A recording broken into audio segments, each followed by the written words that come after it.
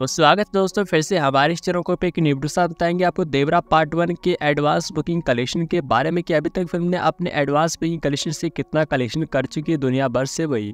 इस वीडियो के आखिर तक बने चैनल पर नया है, चैनल सब्सक्राइब वीडियो को लाइक करना ना बोले तो आपको देवरा पार्ट वन जो कि जिसको डायरेक्ट कर रहे शिवा कोटाला, ये एक तेलुगु लैंग्वेज और एक्शन फ़िल्म है जिसको पाँच भाषाओं के अंदर दुनिया भर में रिलीज़ किया जाएगा।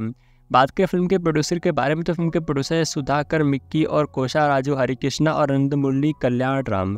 बात करें फ़िल्म की स्टार कास्टिंग के बारे में तो आपको बताते फ़िल्म में आपको देखने को मिलेंगे junior N T R Rama Rao वही सैफ अली खान, जानवी कपूर, श्रुति मार्थे, प्रकाश राज, श्री, अरे, श्रीकांत, वही साइन टोंग।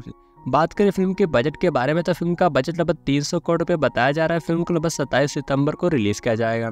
तो बात करें फ़िल्म के box office advance booking collection के बारे में तो आपको बता दें, फ़िल्म के एडवांस बुकिंग कलेक्शन को ओवरसीज़ में तो बहुत दिन पहले स्टार्ट कर दी गई थी और फ़िल्म ने वहाँ से बहुत अच्छा खासा कलेक्शन भी किया है। आपको बता दें, फ़िल्म के जो फ़र्स्ट डे की एडवांस बुकिंग हुई है अभी तक ओवरसीज़ से। वो लगभग एक one point five million dollar जो कि इंडियन रुपीज़ के अंदर तेरह करोड़ रुपये होते हैं।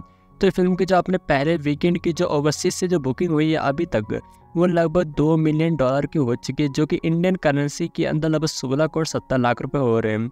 आपको बता दें फ़िल्म को अभी भी रिलीज़ होने में लगभग बारह से तेरह दिनों का वक्त बाकी है। फ़िल्म अभी से ही लगभग सोलह करोड़ सत्तर लाख का ओवरसीज से कलेक्शन कर चुकी है। तो आप देख सकते हैं फ़िल्म का बहुत अच्छा खासा क्रेज ओवरसीज में भी देखने को मिल रहा है। भाई आप देवरा पार्ट वन को देखने के लिए एक्साइटेड है कि नहीं, हमें कॉमेंट इस वीडियो को। जानने के लिए हमारे चैनल को सब्सक्राइब करना ना भूलें। धन्यवाद दोस्तों।